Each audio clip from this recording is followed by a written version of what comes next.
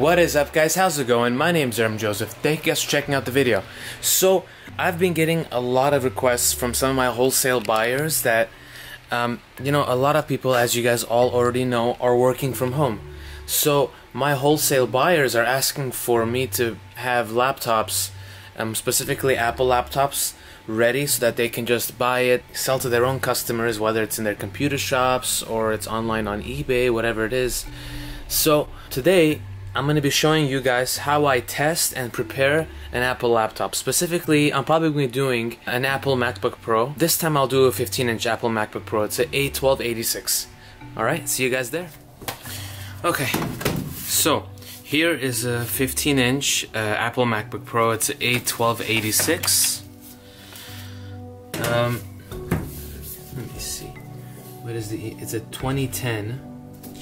So one of the first things we'll be doing is just uh, opening it up and making sure that all of the hardware is in there. I already heard something loose, so that's probably the SATA cable that's proprietary to these Apple MacBooks that was loose inside. So there probably isn't a hard drive. More often than not, when I get laptops recycled, uh, the hard drive is either shred by the customer or they just take it and uh, sure enough I end up if uh, I end up like refurbishing the laptop I'll end up replacing the hard drive.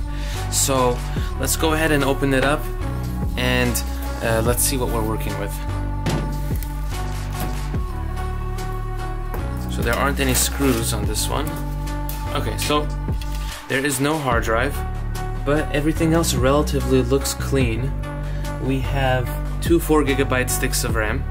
That's DDR3. So let's go ahead and turn it on, see what we're working with. Once I put in a hard drive, we, we're gonna go ahead and do the Apple hardware test and see if everything's functioning okay. Okay. Let us go ahead and put in a hard drive and then we'll see what we're working with. Okay, so we have a hard drive here already has the brackets. This one was missing a hard drive and they did not leave the, the brackets behind. So let us go ahead and replace it. Most of the times these computers are pretty solid.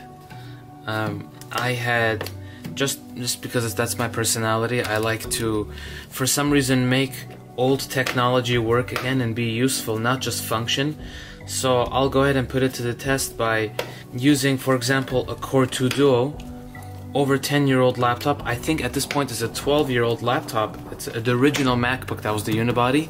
I put in an SSD and I put 8 gigabytes of RAM and I would take it to school for a year and a half just because I enjoyed the fact that I got an old machine to work and it functioned just fine. So, um, sure enough, with these machines, they really last long. These specific models the 15 inch from 2010 uh, to 2011 do have all right green light that's good sign. Let it go to orange. That means all right that means that the, the battery is charging. So I'm gonna let it charge for a, a few seconds before I try to turn it on. Um, typically these models the 2010 2011 15 inch Apple MacBook Pros do have a graphics issue. So that was something that Apple I believe had a recall on, but unfortunately they had a recall for a short period of time and it wasn't really something that was well uh, publicized so that the people who had these laptops I don't think everyone was fully aware that they could just take it in for a warranty.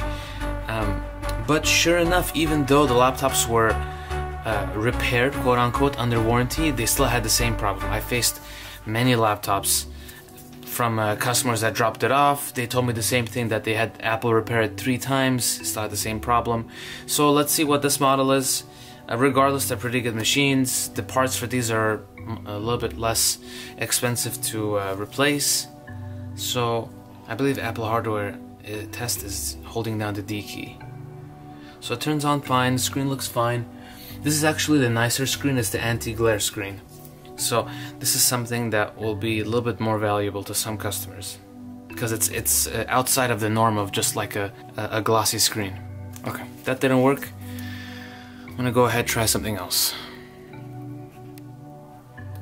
Okay, what I'm gonna try to do is get into the hardware test while I have my external um, hard drive. And if that doesn't work, then I'm just going to install an operating system and then try it from there. Okay, so that did not work for the hardware test, but nonetheless, I will go ahead and install an operating system. Keyboard works fine. See the backlight. So a, a little trick with the backlight. Um, so you see how, because there's light behind me, if I try to click on the backlight, okay, now it's working. Typically, it won't let you do anything if there is light in the room. If you cover the camera, then the backlight will work. Because it, the camera thinks it's dark, of course. Okay, Wi-Fi is working fine. Let's see what type of system this is. It's a 2.66 i7, 8 gigabytes of RAM. The hard drive I put in there is a 500 gigabyte SATA drive. It's a conventional drive. See, like it's not like Windows where Apple literally stops certain models from being updated. Period. Because I, I don't. I, I, mean, this is my suspicion. I'm not sure uh, why, but my suspicion is that they just don't want to, like a laptop, for example, that's already uh, pretty dependable to be used for, let's say, seven years, eight years.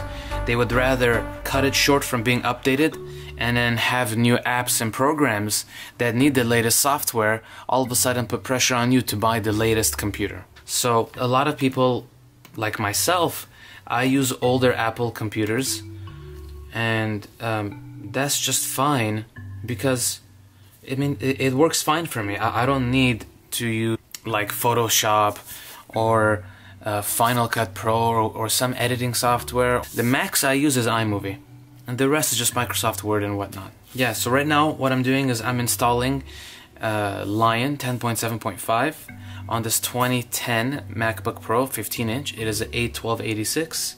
It has a 2.66 i7 processor with um, 8 gigabytes of RAM and a 500 gigabyte conventional uh, conventional hard drive. So right now it's just copying over the OS and then later on we'll go ahead and we'll test the hardware. But for now, from what I've already tested lightly, the full keyboard works, Wi-Fi works, the speaker works, trackpad works, it was clicking fine, it's moving fine. Sure enough, I mean the screen doesn't have any dead pixels, there are no cracks, there are no like ghost type shapes from the back. Yeah, and the body is really clean, so this is a pretty good candidate. Alright, so just finished installing the OS on the source hard drive. We're gonna go ahead and shut it down.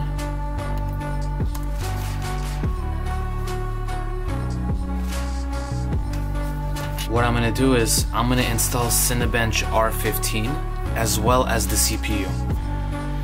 So once again, this is a, a 2.66 uh, Core i7. It's an M620, it's, so it's a first gen i7. The graphics on this is a GT33M. It's a mobile mobile graphics card, of course. It's on board, and it's a two-core, four-thread. So first thing we're gonna do is we're gonna do CPU test.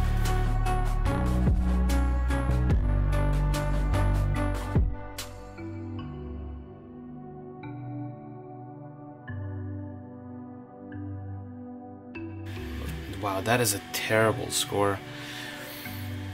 Okay, so um, if those of you who are not familiar with Cinebench R15 specifically, a score of 169 for the CPU is really, really bad. I mean, there are Core 2 Duos that get scores. I mean, I'm talking like even first, second gen Core 2 Duos that get in the the high hundreds, low 200s. So the fact that it's got 169, that's with 8 gigabytes of RAM, even though it's not like a RAM issue, but like this system is not held back in any way. So that may be an apparent sign that there is some inherent flaw currently in with the, the motherboard. So now let's do the graphics card. It's an OpenGL. That, that's the name of the test. So we'll be doing a graphics card test right now and let's see if it goes all the way. If it does go all the way, it means that to some extent the graphics card is still functional, if not fully functional, and if it ends up stopping or if it doesn't start at all, uh, that is a clear sign that there is something wrong with the graphics card. So for those of you that are not knowledgeable of the graphics problems that these computers have, it is said that the, see there you go, it just shut off, it does have a graphics issue. I'm gonna go ahead and try that test with a higher wattage charger because maybe the battery sometimes is not giving enough power for it to do its regular function. And the charger is a lower wattage charger even though they're both working together just so that I eliminate all of the possibilities. Alright so we got an 85 watt charger. Let's see if it makes a difference. At least at this point I believe that when the system is being overloaded which you can probably tell throughout the video the light turns green from charging it just goes to green. So I don't think at this time it will do that. Let's just do a RAM reset anyway. I'm curious to see if the the CPU score changes with a higher wattage charger because maybe the battery I mean these laptops are, are old. It's a 2010 laptop. So it's a 10 year old battery. It's probably the original battery. Uh, these batteries are not meant to last this long um, they're lithium ion batteries. So what I'm thinking is we'll do the test all over again but with a higher wattage charger this will be a good test just to see if there's any difference in the functionality. As well as for the graphics card. Funny enough it's moving slightly faster. I'm not sure if it's gonna make a difference but we'll try it nonetheless. So actually the first thing I want to do is I just want to go for the graphics. Let's see if it makes a difference so before when I clicked on the OpenGL program to run, the charger turned green. So let's see if it makes a difference this time. It's still orange. So uh, this video could end up going to one of two ways. What could be done if this doesn't work is that I would need to do a reflow of the graphics card. So that would be a part two. Yeah, so it, it didn't change. So there is a graphics card problem. I, I currently do not have the setup to repair this uh, motherboard today, so this will be part one. I'm gonna do part two probably in a day or so, attempting to repair the motherboard. So what happens is they say that the solder joints uh, in between the graphics card and the motherboard were of a mixture that melt at a lower temperature than the typical solder balls that are used in computers. So I don't know why in those years they used um, solder balls that melt at a lower temperature, but the significance of that is that these machines are an aluminum housing and what happens is that they do not dissipate the heat as well as other computers that are plastic, right? They, they kind of retain the heat. So what that does is that on top of not only keeping the heat, the boards themselves run very hot, specifically over here, and they get up to a temperature where they can melt those solder joints. And if this laptop is on a desk and you decide to move it, or you end up finishing your work and you close it up, put it in your backpack, or whatever you end up doing with it, it shifts it that much, the graphics chip on the board. So that's one possibility that happened here.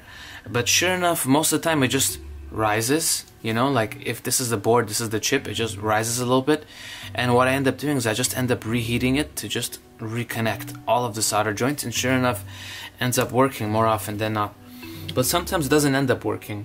So this will be a part one. Part two will be the repair the attempted repair of this motherboard. And if the motherboard doesn't repair it it'll end up turning into a scrapping video. So I'll show you all the parts I retain like one of my first videos showing how I scrap computers how I retain the valuable pieces and how I recycle for their commodity value the remaining pieces such as the aluminum housing and other such items. So thank you guys for checking out the video. I'm sorry that it wasn't from beginning to end like a, a problem then a resolution. But this is part one. Keep a lookout for part two. If videos like this interest you, please feel free to share it with your friends. Like the video, I would really appreciate all the support. Subscribe to the channel and uh, keep a lookout for my future videos. Till then guys, thank you so much.